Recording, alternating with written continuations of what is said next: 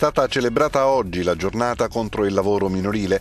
Nel mondo sono più di 200 milioni i minori costretti a lavorare a tempo pieno, secondo l'Organizzazione Mondiale del Lavoro. L'OIL continua a fare pressioni sui governi per la ratifica delle convenzioni internazionali in questa materia.